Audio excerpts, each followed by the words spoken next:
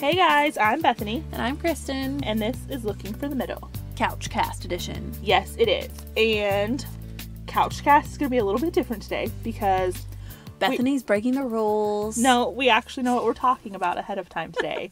Yes, we do. because it was brought to our attention by two of our most loyal listeners, Krista and Krista Ray. and I, t- Ray. I told them I would say both of names. Hey, y'all. Um, they both. Okay, so last week, you know, we talked about friend zoning and all Oh, the fun that goes with that. And so at the end, remember we were like, okay, so we talked to the guys and we asked them how they friend zone someone and why. Well, apparently we talked plenty about how they do it, but we never circled back around to why. It's very and true. so uh, Krista and Ray both came in my office on Wednesday and they were like, um, y'all didn't answer the question.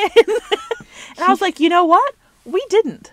And how bad is it when you forget to answer your own question? I know. We wrote the question. Like, this is the, point of podcasting. So we circled back around to Kristen's dear brother Mm. and said, "Hey, so why do you friend zone someone?" And we were like, and he, he didn't really say anything for a while. No. she, Chris, okay, you can take it from here. Oh, no, you no, were the one talking no, no, no. to him. Keep going. Kristen was basically like, "Okay, so you're like, she's really pretty, but I don't want to date her. Why? What Why reason? not? Why would that be? So first of all, let's caveat. We realize if you're not attracted to the person and there's no chemistry, friend zone. Friend zone. Totally get it. Totally fine. Yeah. it's a thing. It's I- a factor, and that's normal. I think. Yeah, I had to give my brother Brett that caveat. I was like, okay, I obviously know if you don't think she's pretty, you're gonna friend zone her, and he was like, well, duh. but yeah, I had him rattle off a few reasons as to why he would friend zone a girl. So here were some of the things he said. Number one, no common interests, which I told him on the phone, and Bethany was laughing with me when he said this. I was like, every time we talk to guys, common interest is one of the first things that comes up. And Brett's response was really interesting. He was like, well, why wouldn't it? Yeah, he didn't think anything But it's just funny because that's how a guy's brain is wired. Well- but Bethany and I were like, well, I don't expect a guy to, what did you say, I go to the mall and you don't or go him to shopping, and and get your nails done and you, You, know. call your girlfriends and go do that. Yeah, or girls. I feel like we've talked about this before, but we just like to sit and talk. We don't even have to be doing anything. Yeah. Whereas guys are more kind of action based. yeah. But yeah, so common if there are no common interests. Well, and I that was the first thing he said. Two, not being willing to take an interest in his interests. Also true. So you don't have to love all of them, but if you really are into it for him, mm-hmm. and that's okay. I don't think that's fake. I'm not saying act like you've always loved this thing, but basically you're saying, hey, you're important to me, so I'll be interested in what you're interested in. Yeah. So anyway, I think that's why, yeah, I definitely and that's more that. once you're dating too. I guess Oh, now that I kind of think of it, that's not Mhm. really a Yeah. before you even get to that yeah, stage sure. part. Because he's gonna want to know, like, are we gonna have things to talk about and do together? Exactly. Because if we're not, then, like you said, you're just pretty, but I don't want to date you. Yep. Uh, the next thing he said is, um, she flirts with every guy in the room. Fair enough.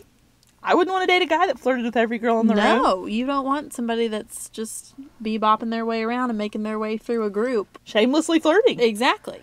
I think that's fine. I think that's totally fine. Well, and I know this about Brett just because we're super close, but Yeah, you've known him a while, haven't yeah, you? Yeah, for you know most of his life. Um, but that was a joke.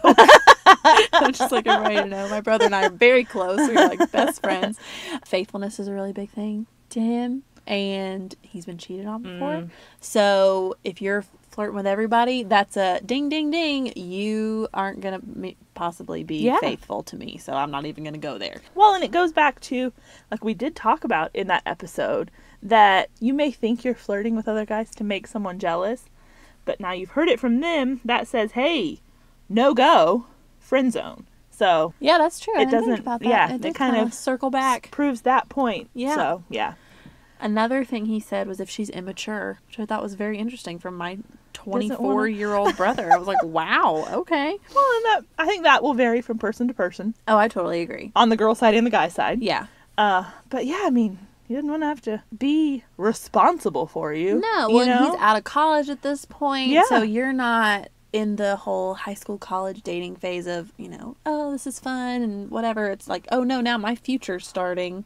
And if I'm dating you, it's because I Uh-huh. want to seriously date you. Yeah.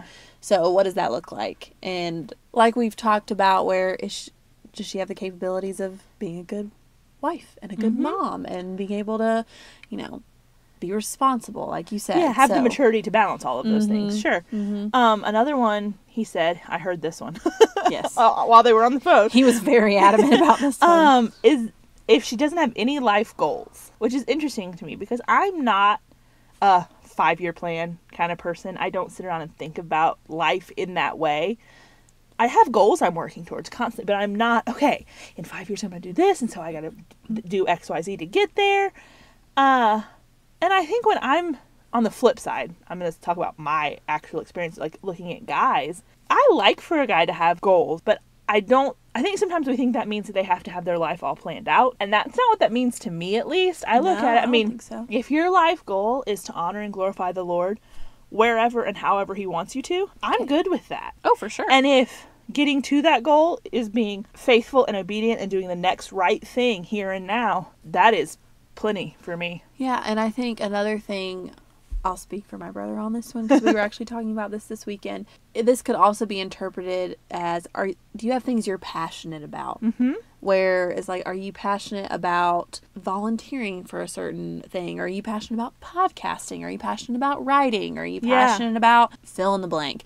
Do you have things that you wake you up in the morning? or- Yeah. you know what I'm talking about? Because that's something that it's like you want somebody who cares about things Mm-hmm. and is not just floating through like, oh, I don't really care about anything or I don't really want to, you know, You don't want a hobby anything. collector. No, but I mean, I rephrase. yeah, I don't. yeah. Other people oh, might, yeah, and that there's nothing wrong with that. I said that kind of harshly, I think, but kind of like what you're saying. Do, do they have something that really is? they're bit- pursuing and they're going after and they're passionate about. I think those can kind of be all Yeah. under one category. The last thing he said is if she only hangs out with guys, I yeah. which I totally get. And we kind of talked about that in the friend zone episode too. Yeah, I mean, if she doesn't have any girlfriends, that would raise a red flag for me. Well, Just like if a guy doesn't have any guy friends, that's exactly what I going to gonna raise a red flag for me too. Yep. So I think that's totally valid. Yeah.